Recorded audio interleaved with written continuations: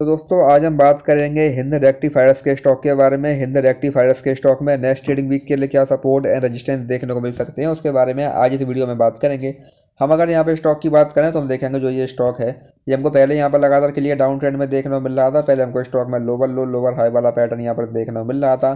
लेकिन फिर स्टॉक ने यहाँ पर सपोर्ट लिया जिसके बाद से अभी अगेन हमको जो ये स्टॉक है वो यहाँ पर लगातार इस रेंज में ट्रेड करता हुआ दिखाई दे रहा है। तो अब अगर यहाँ पर स्टॉक अपनी इस, इस रेंज को ब्रेक करता है देन यहाँ से हमको स्टॉक में अगेन एक अच्छी वन साइड मूवमेंट यहाँ पर देखने मिल सकती है। आज हमको यहाँ पर स्टॉक में टेन परसेंट की यहाँ पर एक बड़ी तेज़ी देखने मिली है। तो यहाँ से अभी हम स्टॉक में बात करें यहाँ से अगर स्टॉक में तेज़ी कंटिन्यू रहती है तो यहाँ से भी और तेज़ी की कंडीशन में। हमारे पास यहाँ पर स्टॉक में सिक्स ट्वेंटी एट का पहला यहाँ पर रजिस्टेंस देखने मिलेगा। अगर स्टॉक ने इसको ब्रेक किया देन यहाँ से हमको स्टॉक में अगेन एक बड़ी तेज़ी।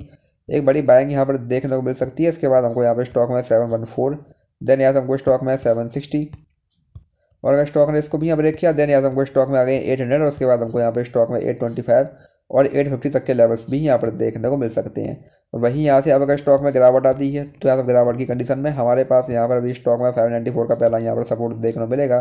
अगर स्टॉक ने इसको ब्रेक किया देन देन यहाँ से हमको स्टॉक में five sixty four and then यहाँ से हमको स्टॉक में अगेन फाइव थर्टी नाइन तक के लेवल्स भी यहाँ पर देखने को मिल सकते हैं एज ए नेक्स्ट यहाँ पर सपोर्ट तो ये स्टॉक में कुछ इंपॉर्टेंट लेवल्स हैं, आप इन पर ध्यान दे सकते हैं। बाकी वीडियो में कोई बाय सेल होल्डिंग सलाह नहीं है।